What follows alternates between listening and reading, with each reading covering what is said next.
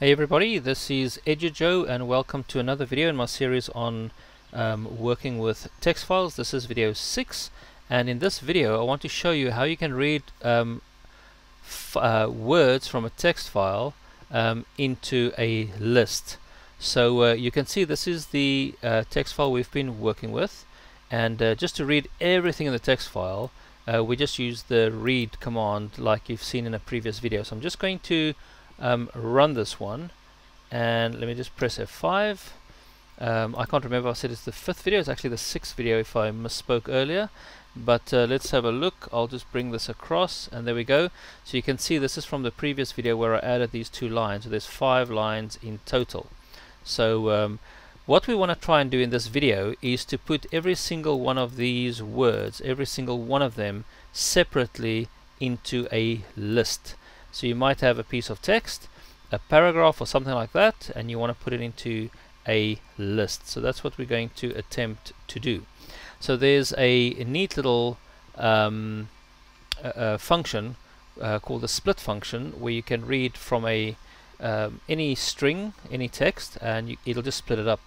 Um, so I just want to put a little line reading all the content of a text file um, using the split uh, function. There we go the split function. And what you do is you actually add it on to this function here. So we've got our uh, variable where we have the opening of our file to read stored.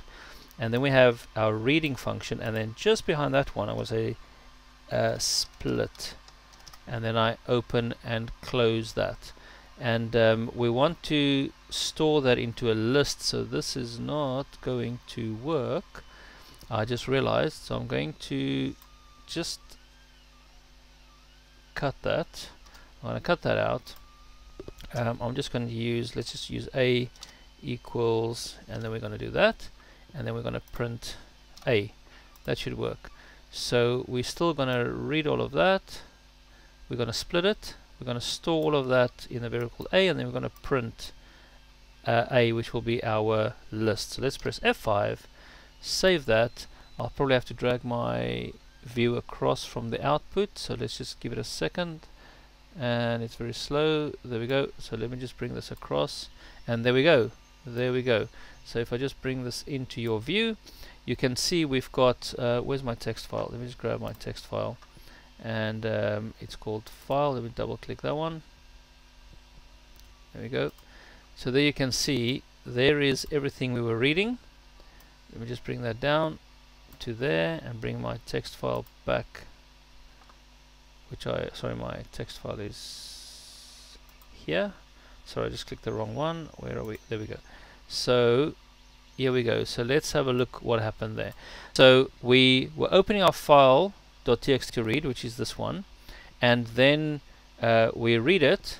We then split them and save all of that in a variable called a which is our list and um, here you can see we've got every single word. There's our square brackets for our start of our list the end of the list.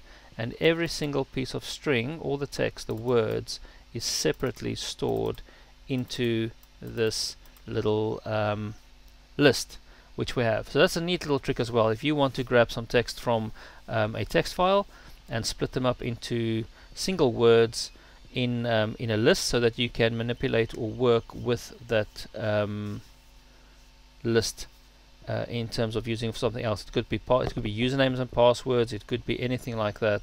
Uh, it could be a dictionary, uh, anything like that. Whatever the text files were for.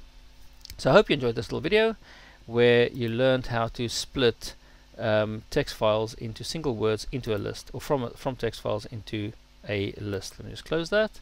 So thank you for watching this video. As always, remember to subscribe and um, uh, come back to this uh, channel if you want to know more little tips and tricks um, when working with text files. Thank you for watching. Goodbye.